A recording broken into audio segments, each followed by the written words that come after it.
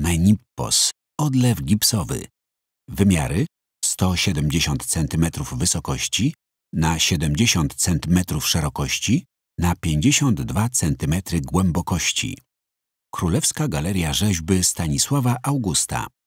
Pełnopostaciowa rzeźba greckiego filozofa, być może Menipposa, w starożytnym płaszczu przerzuconym przez lewą rękę.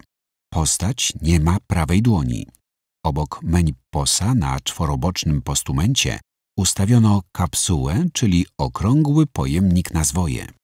Gipsowa rzeźba prezentuje najprawdopodobniej greckiego filozofa i poetę Menipposa, przedstawiciela cynickiej szkoły filozoficznej, głoszącej, że jedynym prawdziwym dobrem i celem w życiu człowieka jest sama cnota, a wszystko inne powinno być mu całkowicie obojętne. Filozof został ukazany frontalnie, w lekkim kontrapoście, z ciężarem ciała przeniesionym na prawą nogę i z lewą wysuniętą do przodu. Przedstawiony jest jako starzec o twarzy pokrytej zmarszczkami i bruzdami, z głęboko osadzonymi oczami i dużym nosem. Głowę okalają pofalowane, zmierzwione włosy oraz gęsta broda z wąsami. Filozof sprawia wrażenie skoncentrowanego, pełnego determinacji, czego wyrazem jest świdrujące, nieco prowokacyjne spojrzenie. Ma na sobie silnie drapowany, sięgający kolan płaszcz, przepasany na biodrach i przerzucony przez lewe przedramię. Szata sprawia wrażenie nieprzewiązanej na biodrach, a podtrzymywanej w zaciśniętej lewej pięści. Pod płaszczem widoczne są nagi tors, plecy i prawa ręka oraz bose stopy.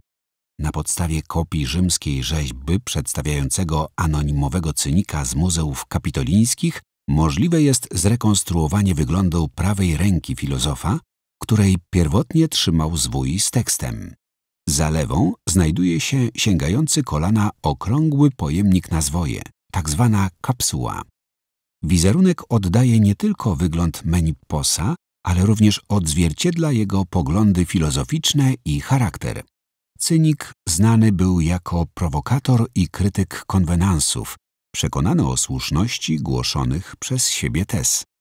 Pierwowzór dla gipsowego odlewu greckiego filozofa z królewskiej galerii stanowi grecki posąg filozofa wykonany w III wieku przed naszą erą, znany z rzymskiej kopii. Marmurową rzymską rzeźbę odnaleziono w 1701 roku na terenie antycznego miasta Lanuvium, nieopodal Rzymu. Należała do kolekcji kardynała Alessandro Albaniego, skąd została przekazana do Stanza del Gladiatore w muzeach kapitolińskich. Kopie tej rzeźby znajdują się w wielkich europejskich kolekcjach, między innymi w Berlinie i w Dreźnie.